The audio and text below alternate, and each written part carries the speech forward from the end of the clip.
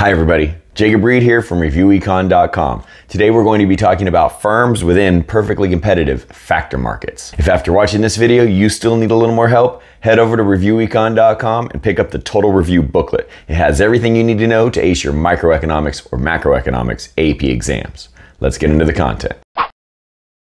So first let's review the labor market for just a little bit. And remember, we're going to be focusing here on labor, but this actually is going to apply to other resources. So these same concepts can apply to the employment of physical capital and the employment of land as well. So here are some qualities of a perfectly competitive factor market. First, we're going to have many different businesses within this market competing for labor. And the workers within this market are going to be identical as far as their skills are concerned. We're also going to assume that there is perfect information and labor mobility. That means workers have knowledge of all their opportunities and can easily move from one opportunity to the other. And because of these qualities, firms within a perfectly competitive factor market are going to be wage takers. They are going to have no influence on the wage they pay their workers.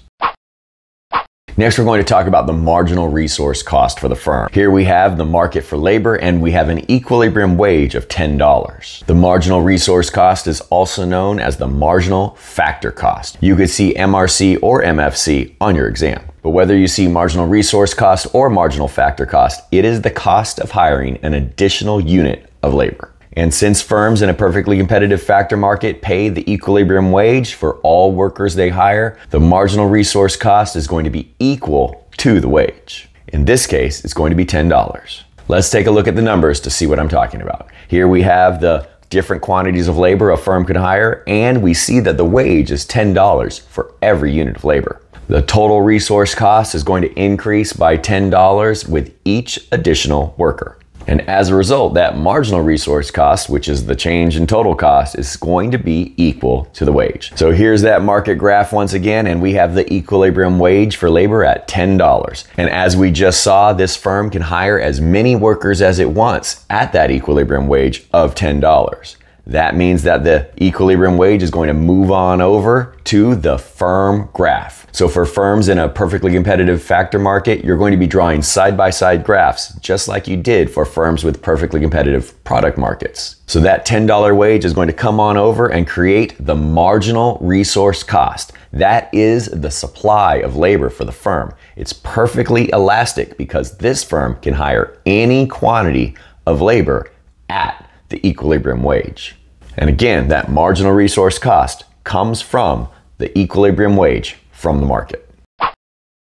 Next, we're going to talk about the marginal revenue product. Marginal revenue product is the benefit of hiring an additional unit of labor. It's the money that is brought in as a result of selling the products that a new worker creates. The marginal revenue product is the marginal product times the marginal revenue. For most questions on your exam, the firm is likely selling their product in a perfectly competitive market. And if you remember, in a perfectly competitive market, the marginal revenue is going to be equal to the price. A little side note, you could see the term value of the marginal product, that is the VMP, and that is the price times the marginal product. For a firm selling its output in a perfectly competitive market, the value of the marginal product and the marginal revenue product are the same. But the marginal revenue product is what we're focused on here. If we assume that the price of the product here and the marginal revenue are $20, then the marginal revenue is going to be $20 for all units produced. You times the marginal revenue of $20 by the marginal product for each of these workers hired, and that gives us the marginal revenue product of each of these workers.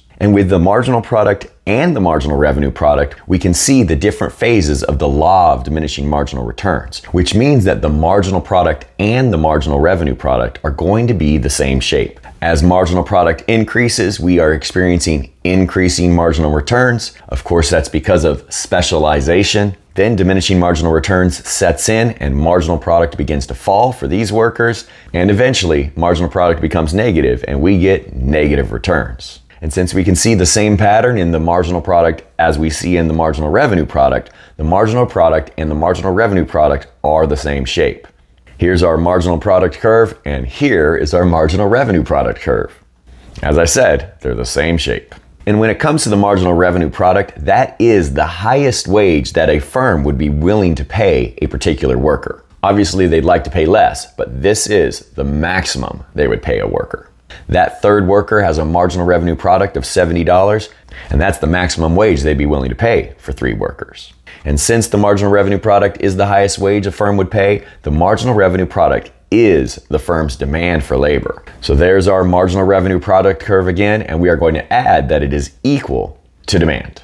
And since a firm will always hire workers as long as the marginal revenue product is increasing, I often do not even draw in that upward sloping portion of the demand curve. I just use the downward sloping portion. If your professor or teacher wants you to draw the upward sloping portion, you should do it. But that's why I don't, because they always would hire those workers. So when it comes to the profit maximizing quantity of labor that a firm is going to hire, we have a rule. The firm is going to hire the quantity of labor where the marginal revenue product equals the marginal resource cost. Once again, we're seeing an application of marginal analysis here. The marginal revenue product is the marginal benefit to a firm for hiring more workers and the marginal resource cost is the marginal cost of hiring more workers. And as we've already learned, benefit maximizing behavior is where the marginal benefit equals the marginal cost. So let's try to figure out how many workers this firm will hire. The wage is $45 and that's why we have a marginal resource cost of $45 for this firm. And this firm is always going to hire those first few workers where the marginal revenue product is increasing, and then they will hire as long as the marginal revenue product is greater than or equal to the marginal resource cost. That third worker has a marginal revenue product of $70 and a marginal resource cost of $45. Hiring that worker makes sense because that marginal revenue product is greater than the marginal resource cost and it increases profit by $25. That fourth worker still has a marginal revenue product that is greater than the marginal resource cost, so they should hire them. And that's because hiring that worker will increase profit by $5. Now, as we mentioned before, the profit maximizing number is where the marginal revenue product and marginal resource cost are equal, but they are never equal in these numbers. But we will never hire when the marginal revenue product is less than the marginal resource cost. So if we take a look at that fifth worker, the marginal revenue product is only $30 and the marginal resource cost is greater than that at $45. Hiring that worker will decrease profit by $15. And so for this firm, the profit maximizing number of workers to hire is four workers. Getting back to our graph now, we're going to add in the marginal revenue product curve or the demand for labor. I usually don't draw in the upward sloping portion as you can see. And here at low quantities of labor, we are going to have our marginal revenue product being greater than the marginal resource cost. So this firm should keep on hiring. At high quantities of labor, the marginal revenue product is less than the marginal resource cost. So this firm should hire less.